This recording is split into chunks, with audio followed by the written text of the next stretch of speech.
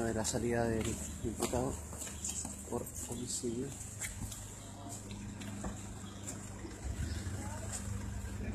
Este por homicidio que ocurrió en Ñiquén, en la localidad de Ñiquén, durante este fin de semana. Vamos a escuchar a personal de la Policía de Investigaciones que se va a referir respecto a este caso ocurrido el fin de semana con este homicidio. Me parece una riña, en un gran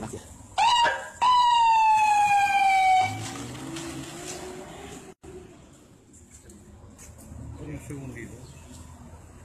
¿El nombre suyo, comisario? Luis Garrido Aravena, comisario. Jefe de la... Subjefe. Comisario Luis Garrido, entonces, eh, Claudio Ramos. Claudio Ramos. Ah, el subprefecto no. Por ahí le dan la... Ya, dale la. Ya. Ya. Luis Garrido. Luis Garrido. Los hechos se desencadenan en la comuna de Ñiguén, específicamente en un sector rural, donde se efectuaba una reunión, una fiesta derivada de un beneficio social de una persona con domicilio en ese sector. Eh, participaron varias personas de esta fiesta. En un momento determinado habría existido una pendencia, una discusión motivada por rencillas anteriores y la ingesta de alcohol entre el imputado y la víctima la cual continúa en la afuera del local, pasada las 5 y media de la mañana, eh, mientras ya todos iban de esta fiesta, donde nuevamente se transa en una pendencia, agrediéndose, bien digo, mutuamente, víctima y el imputado, participan además otras personas, eh, originándose una riña. Y diversas personas se agreden con elementos contundentes, con elementos cortantes, y en ese intertanto es donde eh, el imputado habría agredido a la víctima con un arma cortante en tres ocasiones, provocándole herida a nivel del tórax, del abdomen y en una de, de sus extremidades superiores, y quedando la víctima tendida en ese sector, siendo socorrida de alguna forma, si se le puede señalar, por algunos eh, amigos de la víctima, siendo derivada al hospital de San Carlos, donde ingresa fallecida. Eh, el resto de las personas que participan en la riña huyen del lugar en distintas direcciones, algunas hacia su casa, domicilios tanto en la comuna de San Carlos como en la comuna de Chillán.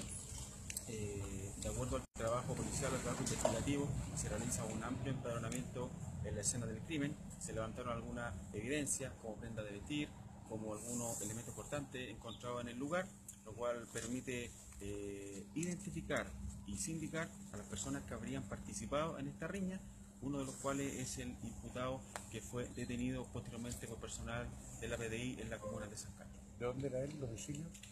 Él tiene el domicilio acá en la comuna de Chillán y frecuentaba él, tanto como su acompañante constantemente, la comuna de Ñiquén y de San Carlos por fiestas que se realizan especialmente los fines de semana y que lamentablemente muchas veces se acostumbra a que estas personas eh, concurran a estas fiestas premonidos de armas cortantes y por lo cual, independiente del trabajo policial que se hace, el llamado es ese.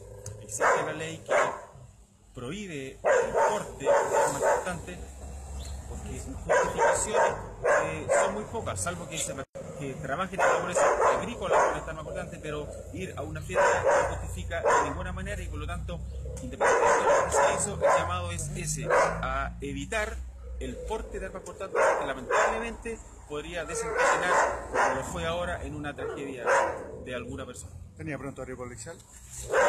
antecedentes de detención por lesiones y a su vez también eh, existiría una investigación derivada también por lesiones con arma cortante. ¿reconoce participación en los hechos? Actualmente, bueno, eso es materia de investigación.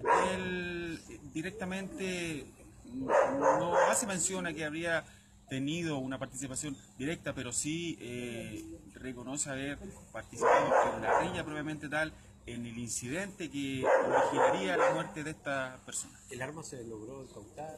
Se incautaron algunas armas cortantes encontradas tanto en la escena del crimen como las que fueron eh, en poder de algunas personas que participaron en la riña. Por lo tanto, estas armas cortantes junto a otras evidencias van a ser enviadas a nuestro laboratorio de criminalística a fin de señalar en forma concreta y objetivamente si eventualmente tiene alguna evidencia hematológica que podría eh, relacionar directamente con este homicidio. ¿Para incautar fue necesario allanar su domicilio o bien fueron encontradas en su poder?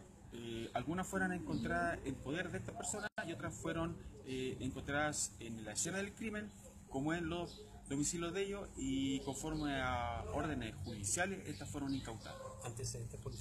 Bueno, ahí están entonces las declaraciones respecto de este crimen ocurrido en el sector de Ñiquén y que ya fue aclarado por personal de la Policía de Investigaciones, mientras el detenido fue trasladado hace pocos instantes hasta el juzgado de garantía para su formalización en la ciudad de San Carlos.